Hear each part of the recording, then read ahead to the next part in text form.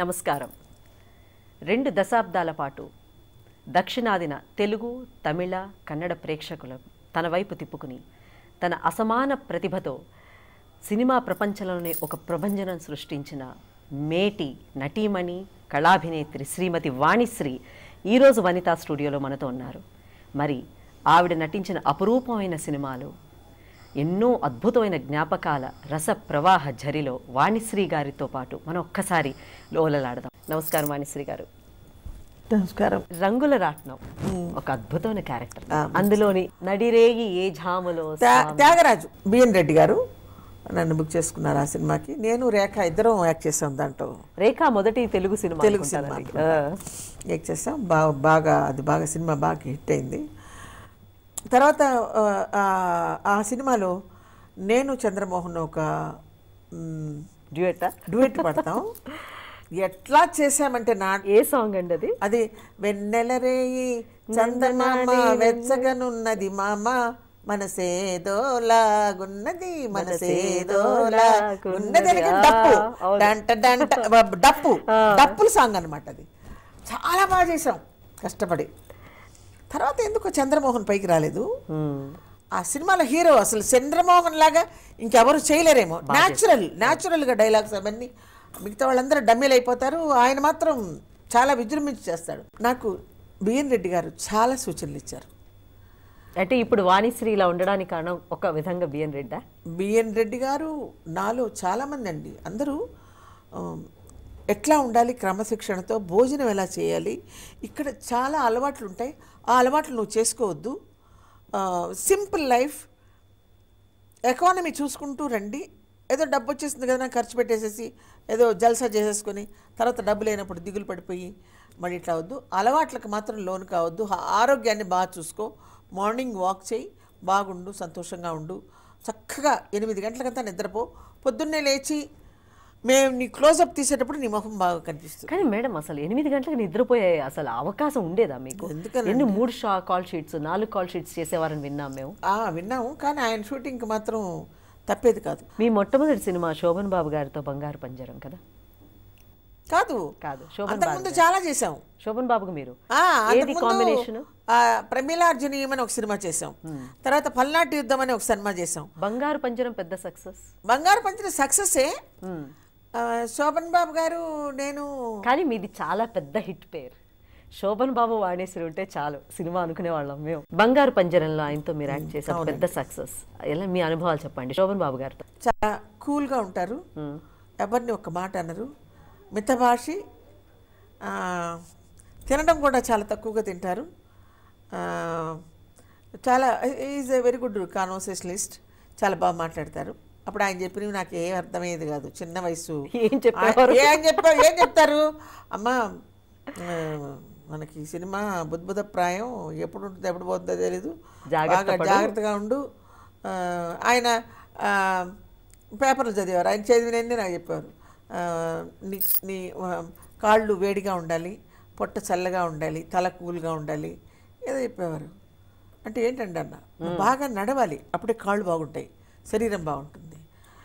కడుపు ఎప్పుడు half half నిండి ఉండాలి. అంతకంటే ఎక్కువ ఉండకూడదు. మైండ్ కూల్గా ఉండాలంటే నువ్వు ఎవరి మీద కోపపడకు కూల్గా ఉండు.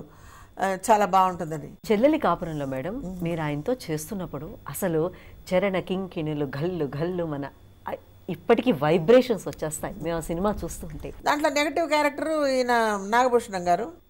అంటే రెగ్యులర్ హీరోకున్న అందగాడు టక్ చేసుకున్న అలా ఆయన చాలా అందగాడు. ఆయన మామూలుగా అందగాడు కదా. ఆ సినిమాలో పాపం ఆయన్ని చాలా విశ్వనాథ్ గారు ఒకసారి చెప్పారు. డీగ్లామరైజ్ చేసి చూపెట్టాం. ఆయన్ని అనేసి. ఆయన చాలా బాగా మంచి నటుడేనండి. అంటే ఎక్కువ శ్రమ పడాడు.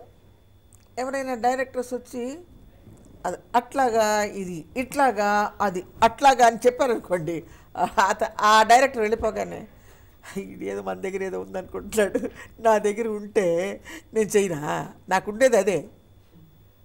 లిమిటెడ్ వాణిశ్రీ ఏదో వచ్చి అది చేయి ఇది చేయని మన శివాజీ గణేశన్ లాగానో లేకపోతే ఏదో పెద్ద పెద్ద హీరోలు నరసింహరంగారావు అలా చేయండి మనం ఎక్కడిస్తాం ఎక్స్ప్రెషన్స్? ఏంట పిచ్చోళ్ళు. ఏంటంటే మాట్లాడతారు మీరు? అవును వాడు అంత ఫ్రాంక్గా ఉండేవాళ్ళ ఆ, నాతో నాతో. తెలుగు ఇండస్ట్రీలో నలుగురు పిల్లర్స్ హీరోస్ వైపు నుంచి చూస్తే ఎన్టీఆర్ ఏఎన్ఆర్ శోభన్ బాబు కృష్ణ ఆ జనరేషన్లో.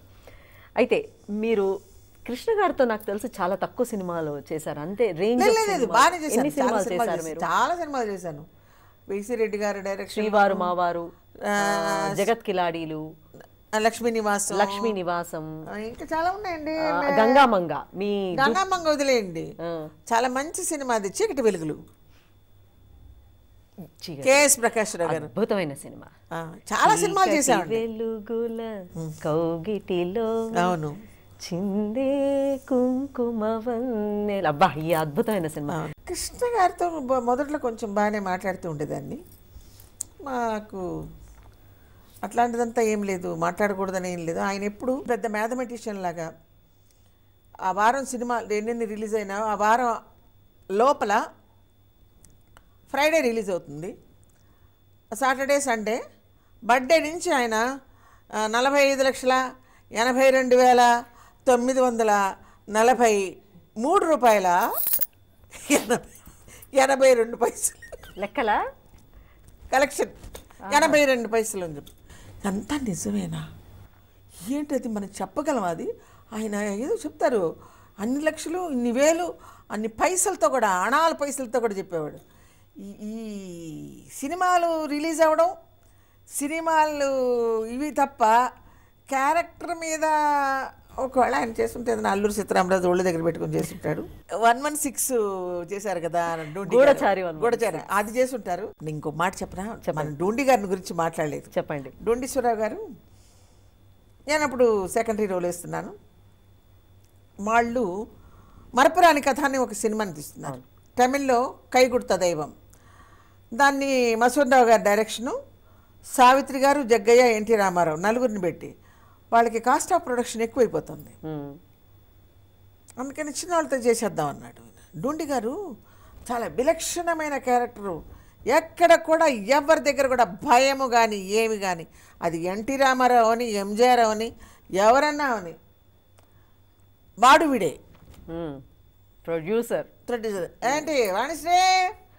ఇవాళ ఎంతమందికి కుదిరావు అనేవాడు. నాయనో ఇదేంటే? అంటే పొద్దున కాల్ షీట్ మధ్యాహ్నం కాల్ షీట్ రాత్రికి ఒకసారి. ఆయన అంత సర్కాసం ఉండేదన్నమాట. చాలా మంచివాడు. బూతులు మాట్లాడతాడే కానీ అసలు పట్టుపురుగు ఎంత అందమో చెప్పడానికి లోపల నుంచి ఆ వెలుగు. ఉమ్. మరపురాని కథ గురించి చెప్తున్నా. పరపురాని కదా నాయ్ అమ్మాయి. కృష్ణ గారే కదా? కాదు కృష్ణ గారి హీరో.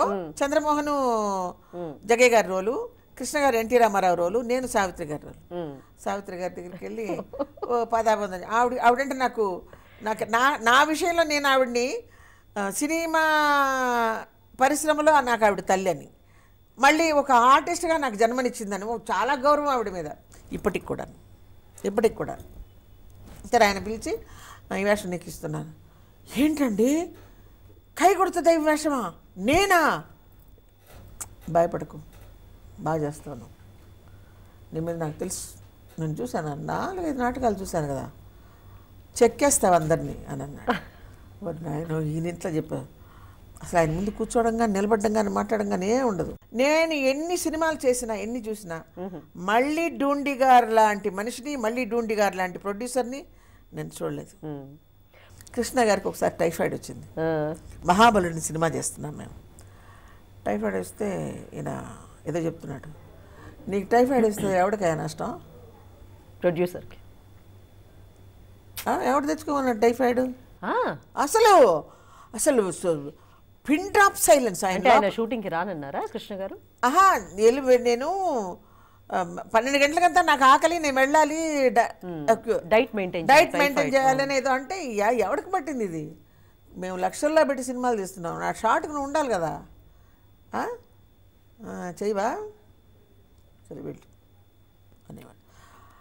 ఆయన్ని చూస్తే నాకు దాడ అన్నమాట. ఏమాయ్ వాణిశ్రీ కాదు. ఏమాయ్ ఆ, సినిమాలు ఎక్కువ అవుతున్నాయని వద్దని చెప్పాకు ఎన్ని వస్తే నొప్పేసుకో బాగా చెయ్యి. బాగా డబ్బు సంపాదించు. నీలాగా ఇంకెవరు ఎవరికి రాదు ఆ ఛాన్స్ అని.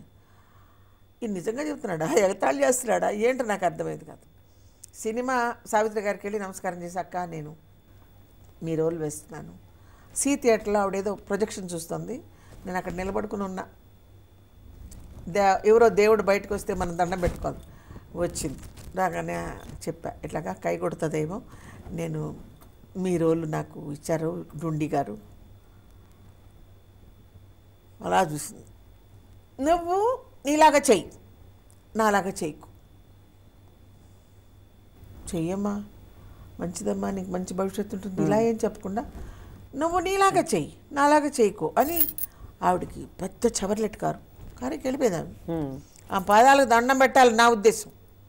షూటింగ్లో. అంటే షూటింగ్ వెళ్ళబోతుంది. ఏంటి ఇలా నిందామె? ఏంటి ఇలా నిందామె? ఏంటి ఇలా ని- నువ్వు నీలాగా చెయ్యి అంటుంది ఏంటి? ఎందుకని అలా నింది దీనికి ఏదో అర్థం ఉంది. అంటే నా వల్ల నువ్వు సావిత్రిలాగా ఉన్నావు కాబట్టి పైకి వచ్చావు సావిత్రిలా ఉన్నావు కాబట్టి నిలబడ్డావు సినిమా ఇండస్ట్రీలో. నన్ను మక్కికి మక్కి కాపీ కొడుతున్నావు నువ్వు. అదని అనిందనమాట. నేను వెళ్ళాను. మక్కికి మక్కికి మక్కికి మక్కికి నడక దగ్గర నుంచి వాయిస్ దగ్గర నుంచి మొత్తం అన్ని మా సావిత్రే.